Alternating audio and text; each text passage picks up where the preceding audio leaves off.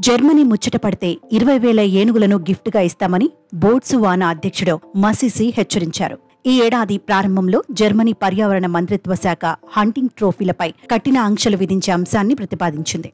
వన్యప్రాణుల వేటను తగ్గించడానికి ఈ చర్య చేపట్టింది. దీనిపై బోట్సువానా అధ్యక్షుడు మండిపడ్డారు. బోట్సువానా దేశంలో ఏనుగులు విపరీతంగా పెరిగిపోతున్నాయి. ఈ దేశంలో ఏనుగుల సంఖ్య దాదాపు ఒకటి పాయింట్ మూడు సున్నా లక్షల పైనే ఉంది. ప్రపంచంలో అత్యధిక సంఖ్యలో ఏనుగులు మనుగడ సాగిస్తున్న దేశాల్లో బోట్సువానా నెంబర్ వన్గా ఉంది. ఏనుగుల జనాభాను తగ్గించడానికి వాటిని వేటాడేందుకు ప్రభుత్వం గతంలో అనుమతిచ్చింది. ఈ అనుమతిని రెండు వేల పద్నాలుగులో ఉపసంహరించుకున్నారు. ప్రజలు ఒత్తిడి చేయడంతో నాలుగేళ్ళ కిందట మళ్ళీ ఏనుగుల వేటను పునరుద్ధరించారు. అయితే బ్రిటన్ జర్మనీ వంటి యూరప్ దేశాలు ఈ వేట పట్ల తీవ్ర అభ్యంతరం వ్యక్తం చేస్తున్నాయి.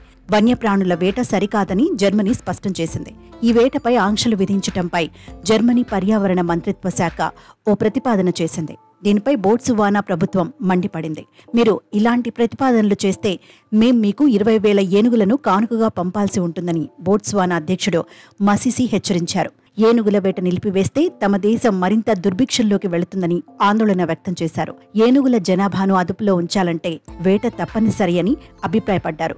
బోట్స్వానా గతంలో బ్రిటన్కు కూడా ఇదే తరహాలో గిఫ్ట్ హెచ్చరికను జారీ చేసింది. పర్యావరణం అనే మాటెత్తితే పదివేల ఏనుగులను పంపిస్తామని బ్రిటన్ ప్రభుత్వానికి వార్నింగ్ ఇచ్చింది.